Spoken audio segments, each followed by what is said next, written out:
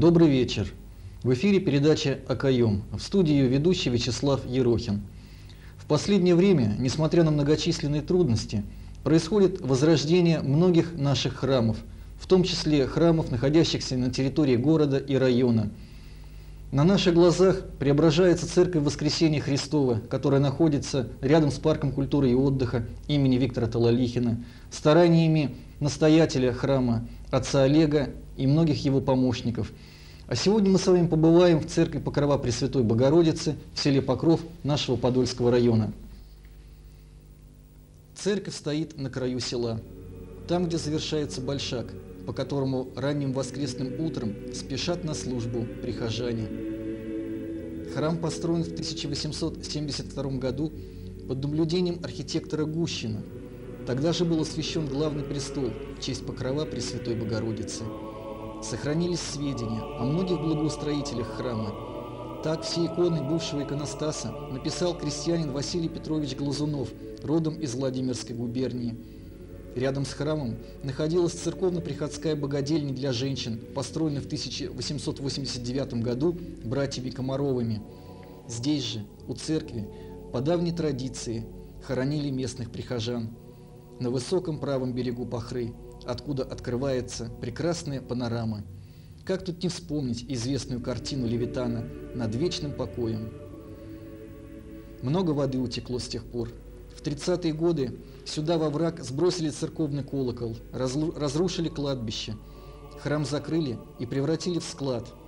Верующие жители, а таких тогда было большинство, переживали это как личную трагедию. Осенью 93 -го года в Покровский храм был назначен настоятелем священник отец Вячеслав Дреев. Сегодня трудно поверить, что всего лишь три года назад здесь была мерзость запустения. Многие люди, приехав посмотреть на возрождающийся храм, стали его постоянными прихожанами и непременно спешат сюда на службу 14 октября, на храмовый праздник. Он установлен в память события, бывшего в Константинополе в середине X века. В войне с сарацинами городу угрожала опасность. Но в этот день, 1 октября по старому стилю, святой Андрей Юродивый с учеником своим Епифанием, находясь в Аллахернском храме на церковной службе, увидели Божью Матерь с сонмом святых, распростершую свой покров над христианами. Ободренные греки отбили сарацинов. С тех пор православная церковь в молитве к Божьей Матери просит покрыть всех нас честным покровом и избавить от всякого зла. Глядя на этот крестный ход, завершающий богослужение, которому в этот день присвоено особое величание, невольно думаешь о высоких духовных идеалах, коими жили наши предки, идеалах, неведомых многим из нас. А ведь без них жизнь теряет смысл.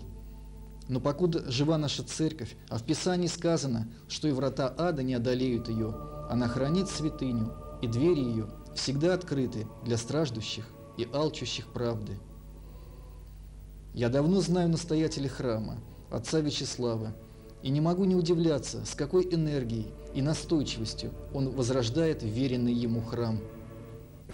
Отец Вячеслав, э, вы являетесь настоятелем этого храма всего три года.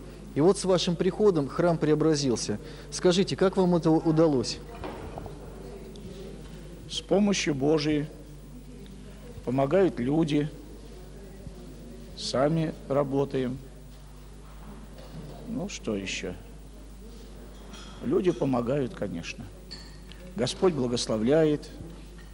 Ну и невидимо, невидимо как-то дается это все. Даже, ну, в общем, стараемся как-то, может быть, своими силами что-то сделать.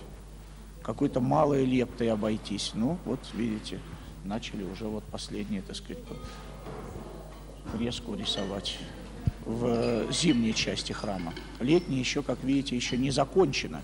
Там еще грандиозный ремонт требуется.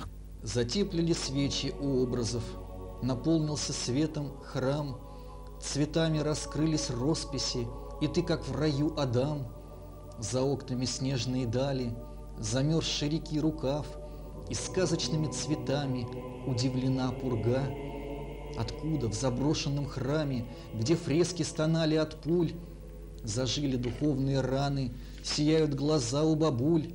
Небесная радость дана нам, знать дух осенил этот край, Чтоб грешным потомкам Адама увидеть потерянный рай.